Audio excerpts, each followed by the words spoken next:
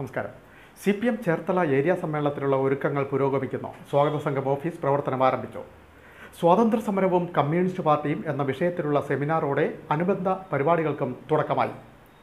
കേന്ദ്ര കമ്മിറ്റി അംഗവും മുൻ ധനമന്ത്രിയുമായ ഡോക്ടർ തോമസ് ഐസക് അനുബന്ധ പരിപാടിയുടെ ഭാഗമായുള്ള സെമിനാർ ഉദ്ഘാടനം ചെയ്തു. ഡിസംബർ ഇരുപത്തിരണ്ട് ഇരുപത്തിമൂന്ന് ഇരുപത്തിനാല് തീയതികളിലായി ചേർത്തല ടൗണിലാണ് സമ്മേളനം സംഘടിപ്പിച്ചിട്ടുള്ളത്. സമ്മേളനത്തിന്റെ സ്വാഗത സംഘം ഓഫീസ് ഏരിയ കമ്മിറ്റി ഓഫീസിൽ പ്രവർത്തനം തുടങ്ങി. ഡോക്ടർ തോമസ് ഐസക് ഉദ്ഘാടനം നിർവഹിച്ചു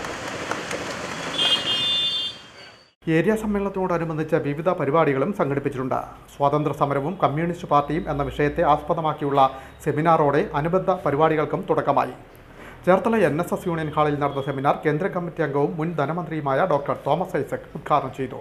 നമ്മുടെ രാജ്യത്ത് ഈ കാലം ഉദ്ഘാടനം ചെയ്തത് പതിനാറാം നൂറ്റാണ്ട്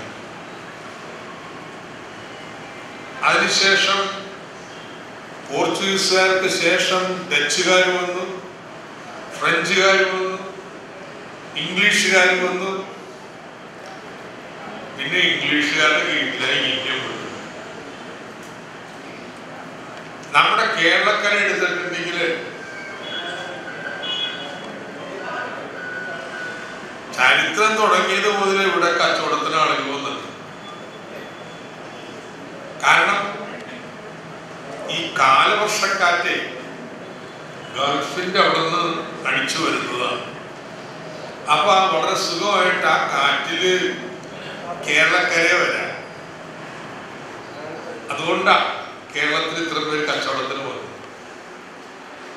ചൈനയിൽ നിന്നൊക്കെ കപ്പലിലെ സാധനങ്ങൾ ഇവിടെ കൊണ്ടുവന്നു കഴിഞ്ഞാൽ ഗൾഫിൽ നിന്ന് വരുന്ന അറബികൾക്കും ഒക്കെ ഇവിടുന്ന് സാധനങ്ങൾ മേടിച്ച് നേരെ അറബ് രാജ്യത്ത് തന്നാൽ പിന്നെ കരമാർഗമാണ് പിന്നെ യൂറോപ്പിലേക്ക് പോകണം. കപ്പൽ മാർഗമല്ല കരമാർഗമാണ് പണ്ട് സ്വാഗത സംഘം ചെയർമാൻ അഡ്വക്കേറ്റ് കെ പ്രസാദ് അധ്യക്ഷനായി. ജനറൽ കൺവീനറും ഏരിയ സെക്രട്ടറിയുമായ കെ രാജപ്പൻ നായർ സ്വാഗതം പറഞ്ഞു. N R Baburaj A S Sabu B Vinod P M Pramod P G Muraleedharan Sherly Bhargavan P Shajimohan K P Prathapan P S Pushparaj തുടങ്ങിയവർ പങ്കെടുത്തു. Win media Cherthala.